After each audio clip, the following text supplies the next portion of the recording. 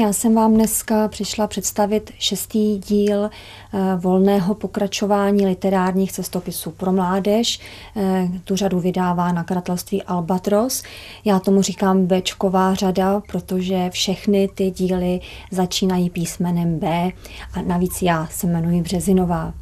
Ehm, ty knihy začaly vlastně knihou, nebo ta série začala knihou Básník Báglu o Karlu Hinku Máchovi, potom Blondětá Caroline o Karolně Světlé. Další díl se jmenoval Báro Nebreč a mapoval život Božny Němcové. Pak jsem tu svoji partičku poslala na Slovensko, kde společně putují po stopách slovenské spisovatelky Margity Figuly a knížka se jmenuje Bojíš se Margito. No a potom jsem tu svoji partu poslala ještě dál. Hrdinové se přesunuli do Španělska, do krajiny La Mancha, kde se odehrává děj mého příběhu bláznivý Don Quixoti.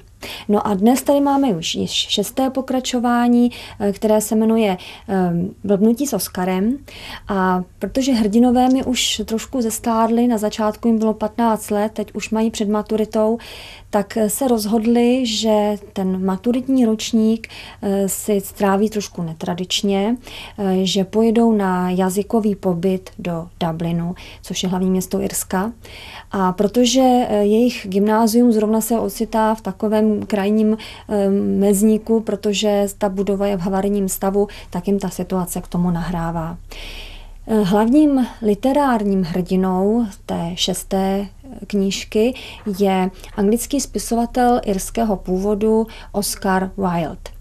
Eh, celá řada těch mých hrdinů ho zná jako, jako autora pohádek a možná i jako autora eh, úžasných divadelních her, ale o jeho životě dosud toho moc netušili. A právě čtenáři společně s mými hrdiny mají možnost na stránkách knihy Blbnutí s Oskarem poznat pozadí těch jeho životních osudů. Oscar Wilde byl velmi svébytná osobnost, byl miláčkem publika, byl lvem salonů, určoval eh, módu, eh, chování, vystupování tehdejší eh, anglické společnosti, byl všemi velmi obdivován, ale pak se zapletl do takového dost nešťastného soudního sporu, který bohužel prohrál.